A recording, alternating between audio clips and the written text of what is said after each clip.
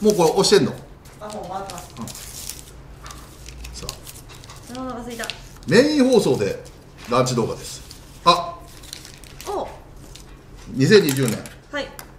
12月31日。はい。大晦日です。はい。皆さん今年も1年ありがとうございました。ありがとうございました。すみませんちょっと醤油かけながら。大晦日にお送りする。はい。そばじゃんじゃそうですね。あそばじゃん何丼買ってきてんだよ。おそばにすればよかっうん。たあるじゃんコンビニとかの。うん。あとあとカップそばでもよかったのに。はい。そばじゃん。完全そっちでしたね。うん。確かに。丼じゃん。お大晦日っぽくないじゃん。今思ったわ。年越し丼ですね年越し丼。は皆さんはね年越しそば食べてください。い。おそば食べながら季節感全くくないご飯。12月なんですよ今もね。うん。年の瀬。そうですよ、うんそばじゃん。あるじゃん。本当ですね。あの緑のたぬき的なのね、はい。ああ緑たぬきいいですね、うん。食べたいなあとはいどん兵衛的なのね、はい。いただきます。うん。さあ今日のランチ動画のトーク展開は？はい。今年1年間を振り返ってっていう、うーん。1年間。いやまあでも今年はねなんか大変な年でしたね。うん、うんでもなんか佐々木チャンネル、うん。今年1年間で、ん。今日の動画で348本目らしいです、うーん。この1年間。2020年。うん。340 348本、総再生回数が約8500万回再生。はいで登録者数が約20万強。うん。です。すごい。はうん。い、1年間。うん。だから。うんでも本当に去年始めたじゃない、去年？去年ですね。始めたじゃないですか、は去年始めた時は特にあまりなかったんですけど今年その結構いろんなところで「うん。あ YouTube 出てる方ですか?」って言われることが増えました、い、だから出てませんって言ってましたあ出てますって言いますよ。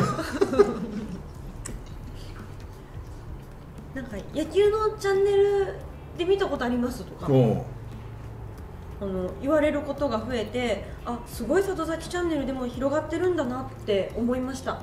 だってもう40万人もねうん。登録者本当ありがとうございます、あり行きましたしうん。1億回再生もね、最初からで言うとねうん。クリアしましたし。うん。すごいらやっぱりあの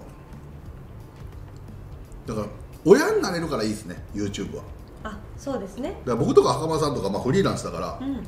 下請けかもしくは孫請け、うん。孫孫請けとかの可能性もあるじゃん、うんうん。ね、うん。それが全部親になれるから、うん。最初のスタートになれるから言いたいことも言えるし瞬発力持ってできるからいいですよね。まあ自分が出したい時に出せるし、うん。うん佐藤さんにはぴったりですよね本当に。うんいらいらないですね。うん。だから348本もよくあったね。これいつ続くかな？でも今のところ何喋ろうってなったこと一回もなくないですか？うん。まあ野球が動くからね。うん。シーズンは動きますからね。いややっぱり。だってゲストも使わないのよ。うん。そうですよ。だって今までのゲストって。会野球選手で言ったら甲斐選手だけですね。うん。あとはもうコラボだからね、うん。那須さんとか。うん。だからコラボはね、那須さんでしょ？はい。あとアイコンさん。うん。ビックリマンの、うんうんうん懐かしいね、うんはい。だいぶ前ですねもう1年、あと鈴木福子、ああ撮ってましたね、だからあのコロナが蔓延する前だから行けたんだね、はい。ギリギリ。そうですね。であとクレイさんとか。うん。あとウーモのコラボもあった。はいあとネモさんね。パープロで来ていただいて。うん。うん。でそう考えて野球選手とコラボ本当してないんですよね。うん。でもそんなねうん。聞きたいこともないしね。多業種とちょっと交流をしていくというなんか面白いじゃん。面白い知らないこと聞けるから。うん。やっぱ那須さんとのそのサッカーとの違いとか？そう面白かったですしね。だって那須さんの動画で、ん。な那須さんの方の動画100万いっていったからね、俺とのやつで。えー、すごいそうなんですか？だってあれよあのー、イニエスタの次よ俺。うん。イニエスタえイニエスタに勝ったんだったっけ？あれだえっと大久保。あおお大久保さん,、大久保さんの次よ。大久保さん。うん俺イニエスタに勝ってんだよ再生回数。今どうなってんだろうね。えじゃあどうですか？佐藤さん誰とコラボしたいですか？この先。うん？俺俺？俺でもね一、回、ツイッターでね、はい。連絡取ってはい。OK もらってる人いるんだよ。ええ誰ですか？ミルクボーイとか？あ違う違う。なんでやねん。あスカイピースさん。ああ有名 YouTuber の。うん。うーんあの連絡取って。うん一回。うん。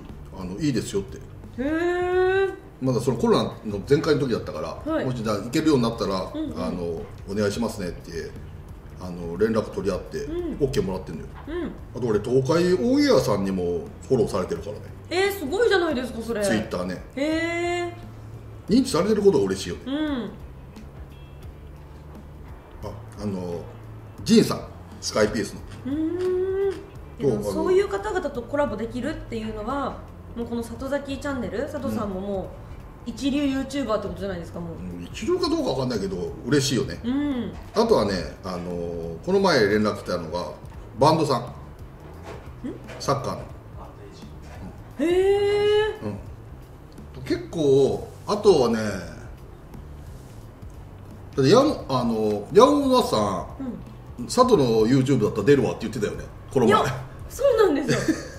あのいつでも出るからな。ってうんうん。ね言ってくれてて、はいいやそうなんですよね。いやまさかその東京いないじゃんね。名古屋ですよ、はい。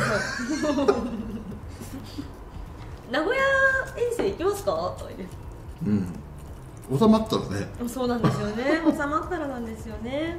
そう山本松さんはなんかもういつでも出るからって言ってうん。そうなんだ。うん。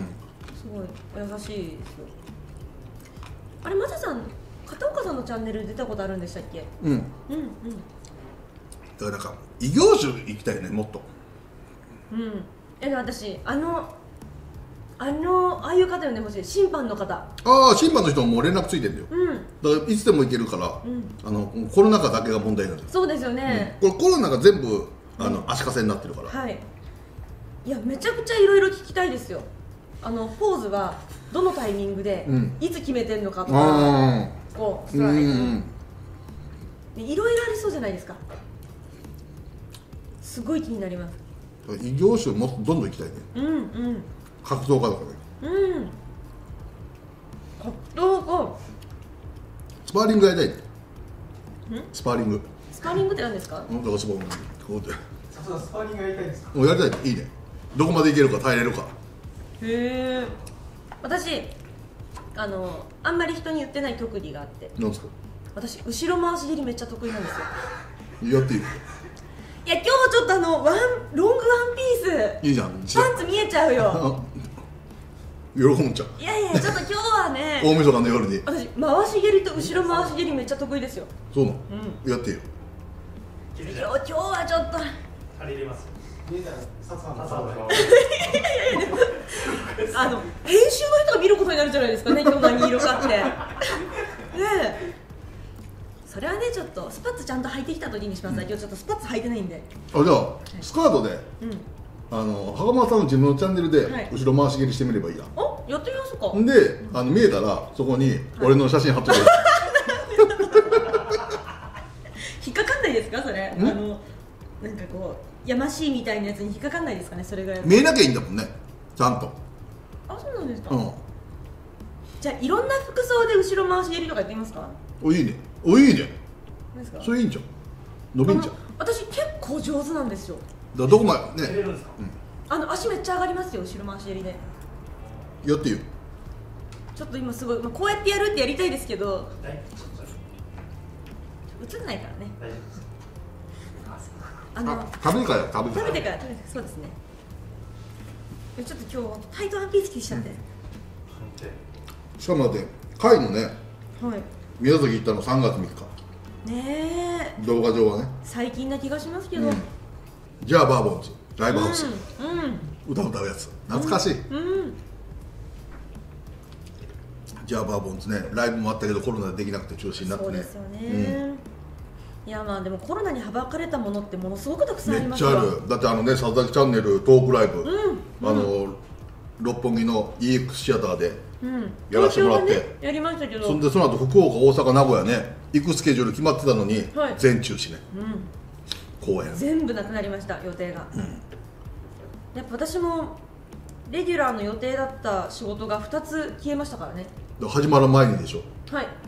始まる前にとやってたのが、うん。あの人数制限みたいなものもあってなくなったりとか、本当いろいろありましたよ舞台やる予定だったのもちゃんと公演ができなくなっちゃったりとか、大変な年でした。だって俺もそうよ。長期的にやってたやつがなくなって、うん。で来年も一つなんか縮小するうん。形になってんの今の予定であそうはねなんそうそうそうそうそう。でもその代わり、ん。増えたやつもあるわけよ。うんうん。あのゲーム配信の動画だったりとか。あとはあの千葉テレビの佐々木智也のゴルフ直球勝負とか、うんうん。増えるのもでもこの仕事さ、うん。もう常じゃん。うん。そんなのなくなるもんね。うん。普通でも。はい。コロナじゃなくてもなくなるもんはなくなるし、うん。うん。増えるもんは増えるし。そうそう。そんなにね一喜一憂知らんないよ。はい。だってどうせ最後はもう人が決めるじゃん。そうです。あの下請けだから、うん。俺らは。はい まあでも本当に運とかタイミングとか出会いそうそうとかそうそう。いろんなものでつながりまそうそう。すよね始まるものもあれば、うん。終わるものもあるし、野球なんてしかも、ね来年2021年は東京オリンピックがまあ開催される予定じゃん、はい。そしたらメディアは野球以外のやつのスポーツを熱くやりたいのね。うん。そうなってくると、そっちの解説者の取り合いになるから早めのうちに手打っときたいじゃんっていうのもあるし、んだからもうそんなのはねもうね入るものもあれば出るものもあるし、ん。来るものがあれば去るものもあるから、そんなに一喜一憂できないよ、うんだってあのなくなったらなくなる時がチャンスなのよ。うん。新しいのいけるじゃん。まあ確かに。予定が空きますからね。そうそうそうそう、ん。でそこにまた新しいのを組み込んでいってうん。成長していければいいし、うんうん。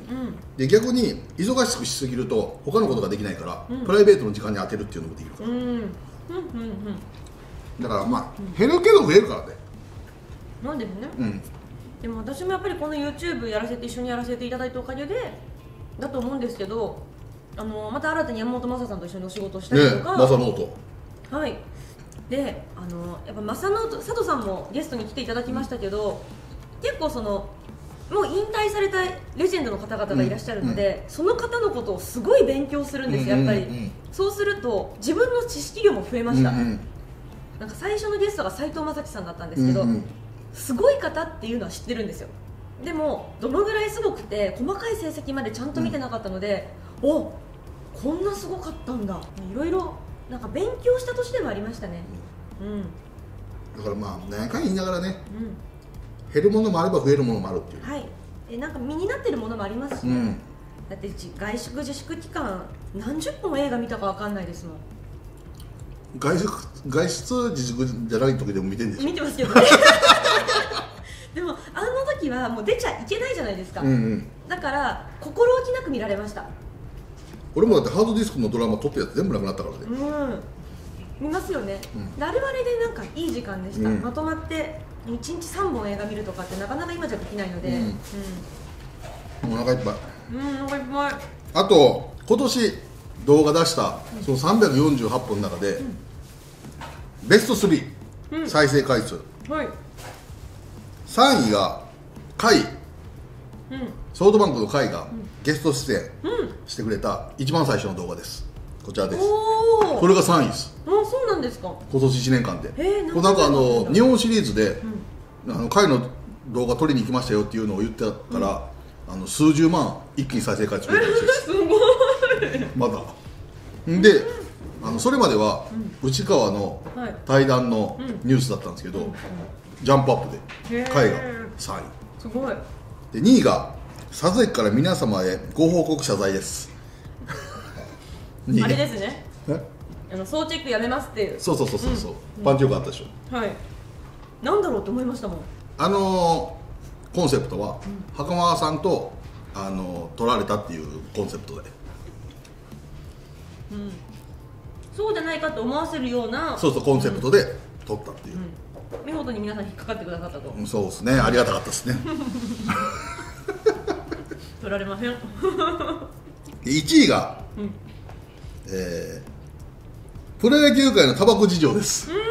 それが今年の1位です。うーん。興味あるんですね。お酒事情とかタバコ事情とか言ってましたけどタバコうんがが1位です。1位。100 110万回ぐらい回ってましもうたよね100万回以上うん。回ってるんですよ。それがだからこのワンツースリーです。うーん。皆さんね概要欄貼っとくんでそちらねチェックしてない方はチェックしてもらいたいですね。うん。やばいでしょ。うん本当ですね。だってあの最近でもメーカうん。ーの話で結構回ってますもんあね、ですねあれ、はい。うんうん、そういうのがいいのかなっていうね。シンプルにし分かりそうで分からないことっていうのが気になるんですかね、うんいろいろやってきたんですけど俺何が面白かったかな。あ意外にびっくりしたのがうんあのーあれ日本シリーズうん。すごい回ったなっていう。だからもうちょっとジャイアンツに頑張ってもらってもうちょっと動画やりたかったなっていう。あとねコナミさんとのコラボもね。はいやりましたね。パワープロやらせてもらってますし、うん。プロスピもね、うん。始めたっていうところだってあれじゃないですか。袴田チャンネルに乗っ取られたっていうね。はいそうですね、木曜日。あのでも本当にパワープロ私もこのコラボでやっぱり始めたんですけど、うん。あのドハマりしすぎて、もう寝られない全然。家でサクセスやりすぎて寝られないっていう。でもめっちゃ楽しいです本当に。何も知らんかったのにね。知らんかっ俺よりも詳しくなっちゃってるもんね。今超詳しいですよ。本当。あとはライブ配信もやりましたね副音声で。あそうですね。ね。うんテレ東さんであはうん2回3回やりましたよね。いそうですね、うあと僕はザキヤマさんとか、はい。あとは森内さん1回ね、うんっていうところもありましたしうんうん。そう考えたらまあそれは348回もやってるんですからね。うん。で5月11日にプロスピスタート。はい。だから緊急事態宣言でやることないから、だからあの5月緊急事態宣言でやり始めたのがプロスピと、あと競馬です。はい。競馬ね。あのーあ有馬記念にはい。7万5千円ぶっ込んで、うん。あの全部負けました、得た利益を突っ込んだんでしたっけ？はい。うん。でも利益出てるんですよ。60円。60円。だからだから7万5千円60円買ってて、うん。7万5千円ぶっ飛んで,、はい。で全部ぶっ飛んで、はい。60円買った。だから勝ち勝ちですあマイナスにならないことがそうそうそうそう。いいです。1年間かけてだから1年間さすがき式でかけてきて1万円。絶対儲かるっていうのが分かったと思うんですよ。うんうん。だから来年ね競馬は G1 やります、はいさらなるさらにパワーアップしたはい。かけ方でうん。やりますんで、はい。ぜひ皆さん交互期待。はい。あとあ千葉テレビで CM 決定、ああそうでしたね。ね佐々木チャンネルの、うん。CM だよ。うん。あと6月20日総チェックスタート、うん。あと e ベースボールとか、うん。ああそう考えたらなんか好き勝手いろいろやってきたね。いやでも成長しましたねこのチャンネル。すごいですね。そうですね、うん。やっぱりねやっぱゲストを使わないっていうところだけがうん。モチベーションです。出てくれるっていう出ていやだからなんか出てっていう方も結構いまあなんちゅうの。もう飽和状態だもん。うん。野球解説者 YouTube も。